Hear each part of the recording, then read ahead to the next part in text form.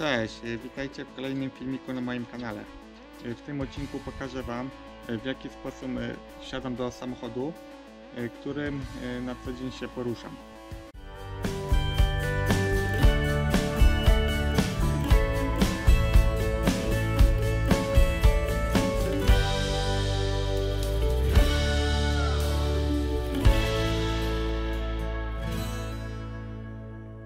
Jest to Passat B8, jest to najlepsze auto dla tetraplegika, ale o tym to opowiem Wam w innych filmikach, jak się tym autem jeździ i w jaki sposób je dostosowałem.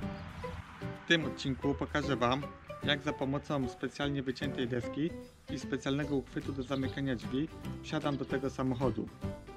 Yy, I pokażę Wam, jak sobie radzę z wózkiem. Zdradzę Wam już ten sekret, że tego wózka ja sam samodzielnie yy, nie pakuję, ponieważ nie jestem w stanie go samodzielnie złożyć. Robię to tak, że z tego wózka po desce przesiadam się do tego samochodu, odjeżdżam, zamykam drzwi i wózek zostaje w garażu. Zawsze robię tak, że drugi wózek mam w bagażniku i jak jadę gdzieś na miejsce docelowe, to tam proszę kogoś, żeby mi wyciągnął ten wózek. Yy, Nie nagrywam tego w garażu, ponieważ jest y, ciemno i byłoby to mało widoczne, dlatego nagrywam to tutaj na zewnątrz. Yy, Ale na co dzień to robię właśnie wszystko w garażu, że odjeżdżam autem, wózek zostaje w garażu, także jest pod dachem, także w razie nawet deszczu czy śniegu yy, on nie zamoknie. Drzwi garażu zamykam na pilota, yy, także to też jest fajna opcja, aby nam nikt później nieproszony nie wchodził do garażu. A jak zrobić tą specjalną deskę, to zapraszam Was też na inny odcinek, gdzie pokazywałem, jak zrobić taką deskę, aby samodzielnie przesiadać się yy, na przykład do samochodu czy z wózka na łóżko. Ok, dobra, no to teraz otwieramy samochód.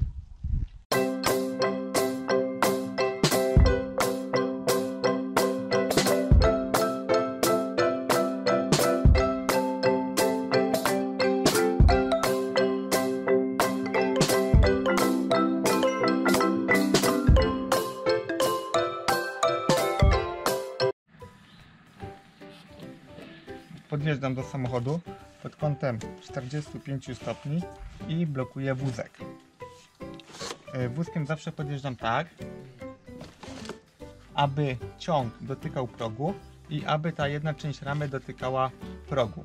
Także pod tym kątem podjeżdżam do samochodu. Jest to około 45 stopni.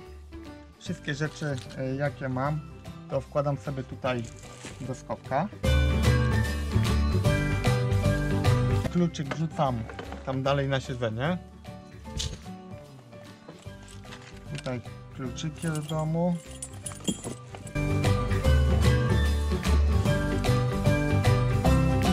Oraz telefon. Telefon właśnie zawsze składam tutaj yy, do boczku, że w razie czego na przykład gdyby mi się nie udało przesiąść do auta i spadłbym na ziemię, to zawsze jest jakieś pole manewru, że pociągnę za to smycz. Yy, wezmę telefon i gdzieś tam będę próbował się dodzwonić, żeby ktoś przyszedł i w tej chwili mi pomógł się przesiąść na wózek, ponieważ ja sam, gdy wpadnę z wózka na ziemię, to nie jestem w stanie się przesiąść. Ok, dobra, teraz pokażę Wam, jakich gadżetów używam do przesiadania się. Tutaj mam taki specjalny przyrząd, ale to o nim opowiem jeszcze więcej jak będę w samochodzie. Jest to kij odmiotły.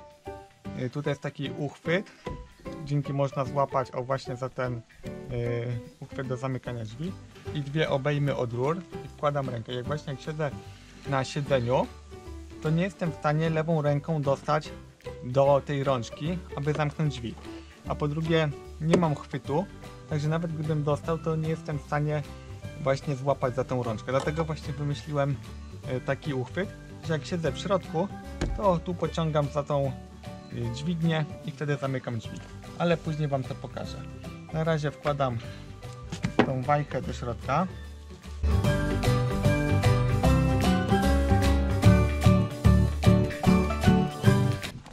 Ale najważniejszą rzeczą jest oczywiście ta deska.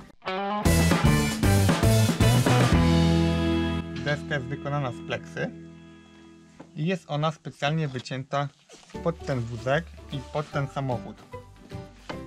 Jak widzicie tutaj jest y, duży próg. W Passacie B5 ten próg był jakieś 5-6 cm mniejszy, dlatego już ta odległość tu była mniejsza. Poza tym fotele też były inaczej wykonane i było łatwiej się przesiadać. Tutaj jak widzicie fotel jest mocno kubełkowy. Dlatego y, jest dużo ciężej się przesiadać. Poza tym próg jest o 5 cm szerszy. To już jest y, kolejne centymetry, które nam sprawiają, że jest teraz gorzej wsiąść. Bardzo ważną sprawą też jest elektryczny fotel, bo na przykład gdyby ktoś wcześniej nim jechał, to bez problemu możemy sobie ustawić. Ja mam właśnie fotel w pełni elektryczny, było to bardzo ważne właśnie przy kupnie auta. O, i z tej pozycji mogę sobie przysunąć, odsunąć, na przykład pochylić oparcie, obniżyć, podwyżyć. Także mam y, w pełni y, elektryczny. Ma też funkcję masażu, ale o tym będzie y, w kolejnym y, odcinku. Ok, teraz pokażę Wam moją cudowną deseczkę. Ona ma tutaj uchwyt do ręki, że nie trzeba chwytu, aby ją wziąć. Tutaj jest wycięte na ten boczek, tu jest wycięcie na to koło. Także wkładam sobie tą deseczkę. Deska jest idealnie dopasowana do tego samochodu. Tutaj widzicie e, wycięcie, e, które jest pokryte gumą i właśnie tutaj specjalnie nachodzi na ten e, boczek, a także jest wycięte na fotel. Tak aby właśnie ta deska się nie przesuwała. Też nie jest ani za długa, ani za krótka. Tutaj na wózku tak samo wycięte jest właśnie na koło, a także na boczek że troszkę właśnie wchodzi na ten boczek i dzięki czemu y, to wszystko właśnie nam sprawia, że ta deska się nie będzie przesuwać i mamy y, możliwość y, samodzielnego się przesiadania. Trzeba też zawsze pamiętać, żeby wózek był zawsze w tej samej pozycji pod odpowiednim kątem. Ja, tak, ja robię tak, że zawsze rama wózka dotyka progu i ciąg wózka też dotyka do progu. E, I tu mam też na tyle miejsca, aby sobie właśnie położyć e, nogi, a tutaj opieram się właśnie o ten boczek drzwi. Ok, no to teraz e, pozostaje nam wysunąć się powoli z wózka i po tej desce przesuwać. Ja zawsze fotel obniżam na sam dół, ponieważ jak widać jest minimalnie z górki. Także wystarczy, że wsiądę tutaj, deska jest bardzo śliska i jedny i powoli będę się tutaj właśnie przesuwał, aż wsunę się na siedzisko fotela. Te fotele są kubełkowe i powiem szczerze, że ciężko jest z nich wysiadać, dlatego ja używam y, poduszki Roho Mini o grubości y, 1,5 cm. Ma ona dwie zalety. Ma taką zaletę, że tutaj już troszkę podnosi i nie ma takiej wysokości między właśnie tym boczkiem a środkiem siedzenia. A druga sprawa jest taka, że y, w jakiś tam sposób y, zabezpiecza nas przeciwodleżynowo, dzięki czemu mogę y, dłużej siedzieć, nie martwiąc się o to, że mogłabym się zrobić odleżyna. A to jest bardzo ważne właśnie w dłuższej trasie. Albo nieraz właśnie, gdy nie ma nam kto pomóc, wyciągnąć wózka i tym podobnie i musimy dłużej siedzieć w samochodzie, a wiadomo, że słaby tetraplegik ma problem z podnoszeniem się, dlatego e, bardzo ważną sprawą właśnie jest poduszka i trzeba zadbać e, o ten aspekt. E, no to teraz będę próbował się przesiadać.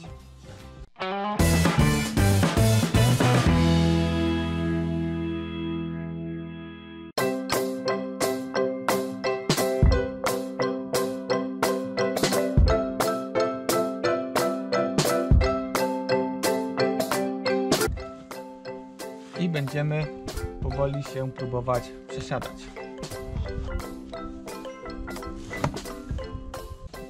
Ja mam nogi dosyć długie, także troszkę jest mi przez to łatwiej. Nogi zawsze stawiam na ziemi i auto zawsze też tak parkuję, żeby nie było jakichś tam dołków, kałów innych rzeczy, ponieważ już mały dołek może sprawić nam to, że będziemy mieć wielki problem z przesiadaniem. Dlatego zawsze stawiam auto na płaskiej powierzchni. No i zazwyczaj staram się, żeby to była jakaś tam kostka lub asfalt. lub beton.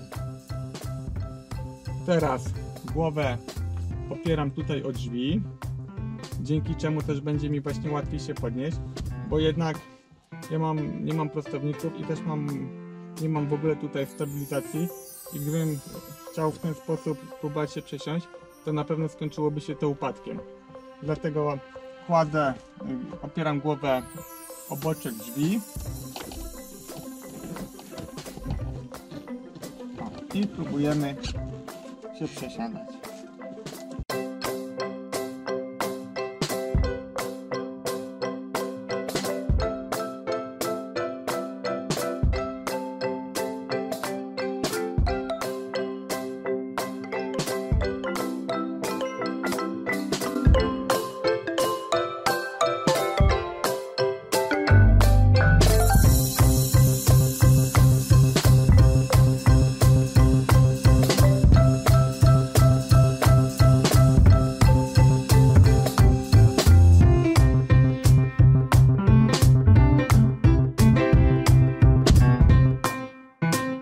Dzięki desce y, można to zrobić bardzo spokojnie. Można nawet sobie w połowie odpocząć, nabrać siły, lekko tam y, skorygować ręce i nie musimy się właśnie martwić, że nam braknie siły, bo właśnie jest czas y, na to, żeby sobie chwilę odpocząć. Dobra, teraz już siedzę w samochodzie. Już można powiedzieć, że mamy pół sukcesu za sobą. Teraz trzeba wsadzić jakieś nogi.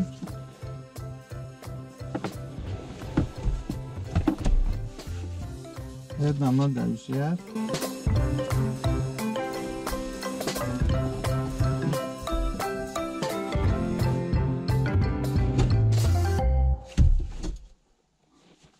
Wiadomo, czasem spastyka przeszkadza, ale ja tak staram się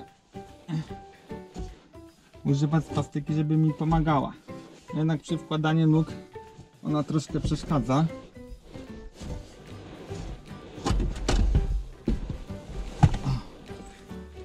Ok. Dobra, teraz biorę, wyciągam yy, deskę. O. To jest właśnie moja deseczka specjalnie wycięta. Yy, są takie właśnie firmy, które zajmują się wycięciem takich desek. Był też filmik u mnie na kanale, także możecie sobie sprawdzić jak samodzielnie kupić na Allegro kawałek takiej pleksy i wyciąć ją wyżynarką.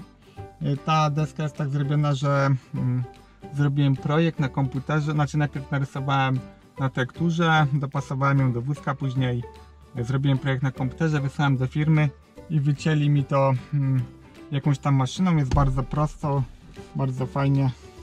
Tutaj tylko sobie właśnie obkleiłem, tak jak wcześniej mówiłem, żeby mi się tam nie obdzierało oboczek. Yy, poduszkę sobie yy, kładę na siedzenie. Yy, mogę też wziąć poduszkę na siedzisko. No, dzisiaj to nagrywamy na podwórku, ponieważ jest lepsze światło, ale zazwyczaj to y, przesiadanie używam tylko w garażu y, i wtedy mam możliwość, że po wyjechaniu samochodem z garażu y, z pilota mogę zamknąć garaż i nie muszę się martwić, że tam wejdzie jakiś kot, pies i rozszarpie mi poduszkę. Dlatego zazwyczaj poduszki nie biorę z wózka, zawsze ona zostaje na wózku, a deskę zawsze biorę ze sobą, bo drugi wózek wożę właśnie w bagażniku i jak gdzieś tam właśnie sobie pojadę na miasto czy na trening, no to ta deska może, by, może być bardzo pomocna, y, żeby właśnie przesiąść się na drugi wózek.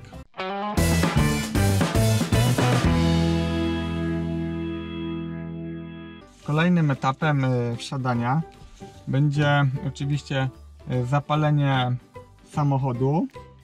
Muszę kawałek odjechać do przodu i zamknąć drzwi. Niestety, e, ja e, tutaj w ogóle nie mam kwiatu w tej ręce, nawet mam słabe w niej czucie, że nawet wychylając się nie jestem w stanie dostać do tej rączki, a już nie mówiąc, żeby ją w jakiś tam sposób złapać.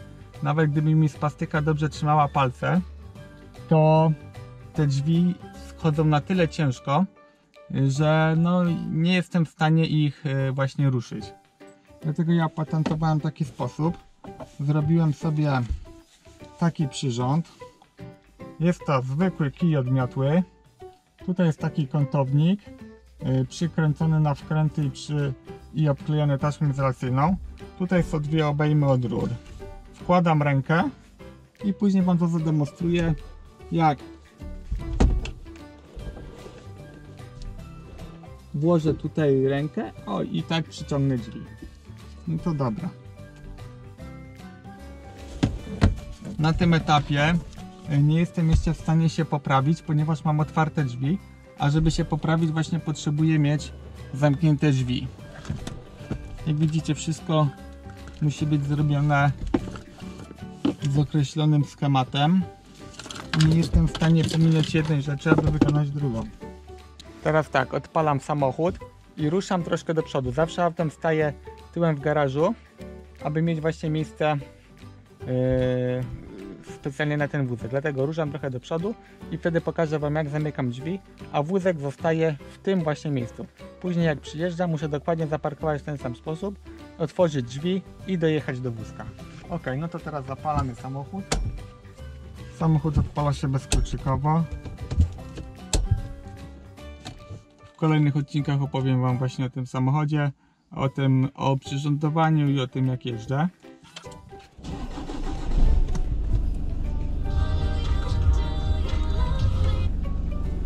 Teraz odjadę sobie około pół metra do przodu.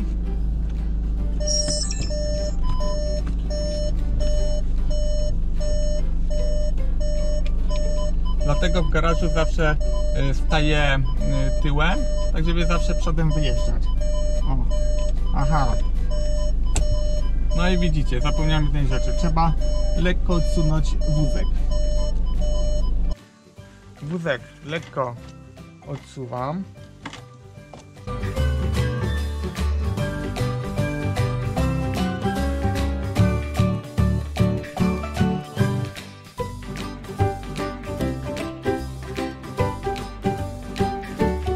Dobra, i tak zostawiam wózek w garażu. Teraz pewnie ktoś zapyta się, no to okej, okay, jak zamykać drzwi? No robię tak, że samochodem zawsze wjeżdżam tyłem do garażu, także teraz tak, co mi pozostaje? Odpalam auto, ruszam kawałeczek do przodu i za pomocą y, tego uchwytu zamykam drzwi, a wózek zostaje w tym miejscu i będzie czekał do chwili, aż przyjadę. Także teraz Wam zademonstruję, jak zamykam drzwi.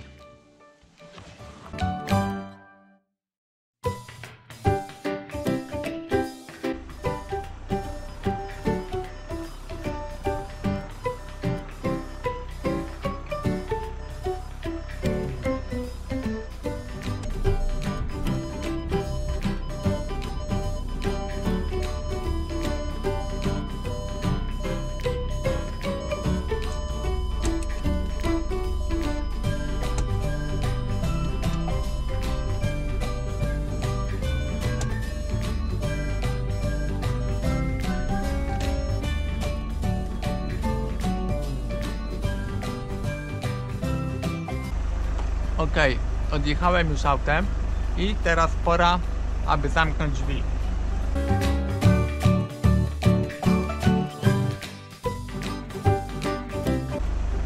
Dlatego używam tej magicznej, yy, tego magicznego drążka i po prostu dwoma rękami dopycham i zamykam drzwi.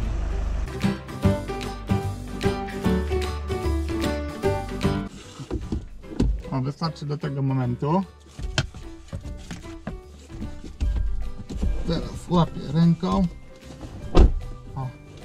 I już mam zamknięte drzwi. Teraz właśnie będę w stanie y, podnieść się i poprawić. Y, lewy łokieć opieram tutaj o drzwi, tu jest właśnie takie fajne miejsce. A prawy na podłokietnik.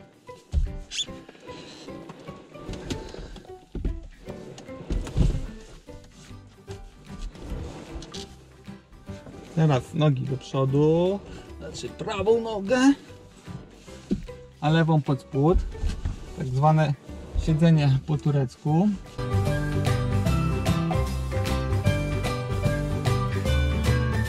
Dzięki czemu nogi w trakcie jazdy nie będą skakać, nie będą się też prostować, bo są zgięte.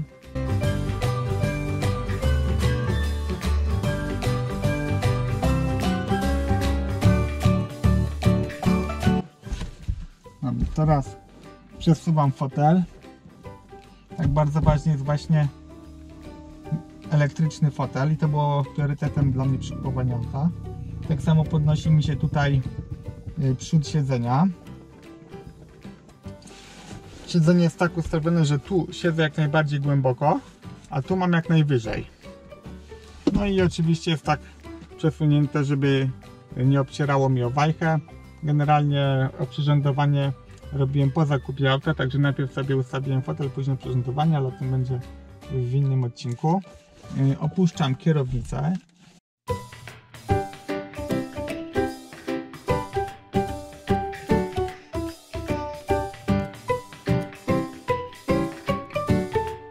Zapinam pas. Pas zawsze naciągam sobie zębami.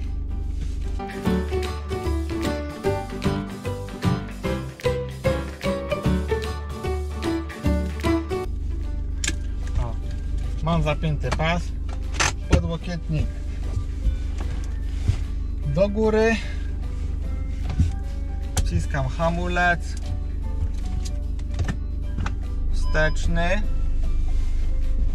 I możemy jechać. Teraz tylko puszczam hamulec, spuszczam ręczny. I możemy jechać. Trzeba pamiętać, że tam obok stoi wózek i trzeba go fajnie ominąć. A później musimy zaparkować i analogicznie wysiąść. Jak widzicie, y, siedzę już w samochodzie. Y, Mam zapięte pasy. Jestem dobrze ustawiony w fotelu. Fotel mam ustawiony, kierownicę mam ustawioną. Teraz możemy jechać gdzieś na miejsce. Jadę oczywiście sam. Pewnie ktoś się zapyta, no to teraz jak zajedziesz na miejsce, no to jak będziesz wysiadał? No mogę powiedzieć, że podobnie, ponieważ y, muszę kogoś poprosić, y, żeby wyciągnął mi wózek. Zazwyczaj jedę na trening, no to już mam tam pewne numery, do, na które dzwonię i tam y, chłopaki wychodzą, wyciągają mi wózek. Ja wtedy bierę tą deskę i się przesiadam. Jest to o wiele szybsze, bo ponieważ wyciągnięcie wózka zajmuje tam 10-20 sekund, a całą resztę robię sam, czyli przesiadanie, które jest właśnie najgorszą rzeczą. Jak widzicie,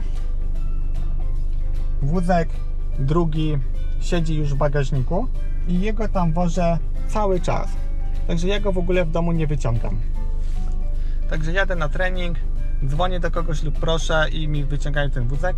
Jeśli by była sytuacja, że muszę gdzieś tam na mieście gdzieś wysiąść, to tak samo zatrzymuję się w takim miejscu, gdzie chodzą ludzie, wtedy proszę kogoś o pomoc, mówię przepraszam, czy mógłbyś mi tam, czy mógłby pani, czy pan y, wyciągnąć wózek samochodu. No i wtedy ta osoba wyciąga wózek, y, kładzie nam właśnie koło tutaj siedzenia, a całą resztę robimy sami. Ponieważ przesiadanie się jest bardzo trudne dla, właśnie dla słabego tetraplegika. Jeśli ktoś nie wie jak pomóc, to czasem właśnie lepiej nie pomagać, bo jakiś tam drobny ruch może spowodować to, że się y, przewrócimy. Często właśnie było tak, że chciałem szybko wysiąść, no to właśnie bez deski ktoś mnie tam łapał za pasek, żeby się przy, szybko przesiąść, ale okazało się, że jedną ręką złapał mnie za pasek, a drugą ręką złapał mnie za łokcia. Ręka mi się jedna y, zgięła i to wszystko sprawiło, że ja już byłem tak zwana dętka, już nie byłem w stanie się przesiąść. Ktoś mnie tam ciągnął na siłę, próbował wciągać. No nieraz się tak skończyło, że leżałem na ziemi koło wózka, koło progu pod samochodem. Dlatego właśnie mówię, jeśli ktoś nie wie jak pomagać, no to lepiej, żeby nie pomagał, albo żeby ściśle słuchał tego, co mówimy. Jeśli mówię poczekaj, no to poczeka. Ja muszę sobie wyciągnąć nogi, w odpowiedni sposób je ułożyć, wszystko musi być y, pod odpowiednim kątem. Y, Muszę się specjalnie ustawić i dopiero wtedy, jeśli chcę właśnie szybko, no to ktoś mnie tam pomaga wyciągać zapasek na, mówię 3-4 i wtedy ciągnie mnie zapasek. ale dużo bezpieczniej właśnie jest przesiadać się po desce samemu, a jak ktoś mi chce pomóc, to mówię mu y, stój za mną, trzymaj mi wózek, w razie gdybym na przykład gdzieś poleciał, czy że gdyby się wózek odsunął, no to wtedy ty mnie ubezpieczaj, trzymaj wózek, a będzie mi też łatwiej, bo już nie muszę się martwić o to, że wózek może mi się odsunąć, bo już ta osoba, która stoi za mną y, mi go trzyma. No i jak ktoś ma więcej czasu, no to też nam pomoże wyciągnąć y, jakieś tam rzeczy z samochodu. Dlatego już nie musimy otwierać innych drzwi, bo ja zawsze sobie, jeśli mam sam coś wyciągać, to kładę sobie na tylnym siedzeniu z lewej strony, czyli za kierowcą, lub kładę sobie na siedzeniu pasażera, ale zanim wysiądę, to te rzeczy wszystkie tego siedzenia przekładam tutaj, tak żeby, jak, żeby mieć wszystko właśnie pod ręką. I dopiero w taki sposób się przesiadam.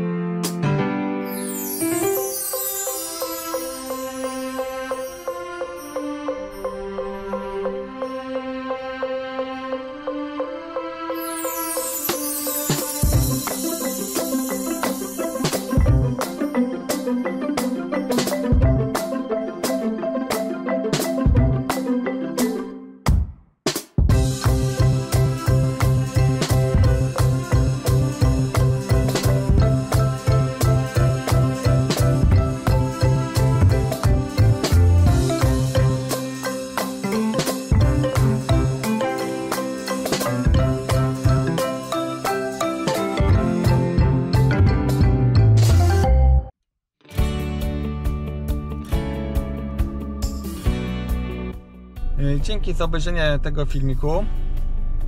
Zapraszam Was na inne filmy, na których pokazuję właśnie jak radzić sobie y, z tetraplegią w życiu codziennym, jak sobie ułatwić w pewnych czynnościach. Y, zobaczycie też jak jeżdżę właśnie różnymi samochodami typu Vitara, Mercedes, 223 Passat B5 i oczywiście najfajniejsze auto jakie jest dla tetraplegika, czyli Passat B8. Zobaczycie też jakie tam są bagażniki, jak sobie to wszystko dostosować i jak być jak najbardziej samodzielnym mimo dużych ograniczeń i tego, że ja sam siedząc na wózku nie jestem w stanie się podnieść, nie mam prostowniku, nie mam chwytu, nadgarstek działa mi tylko w jedną stronę, w drugą też nie jestem w stanie go podnieść. Także jeśli coś chcecie podpatrzeć, y, to serdecznie właśnie zapraszam Was na inne filmiki na tym kanale.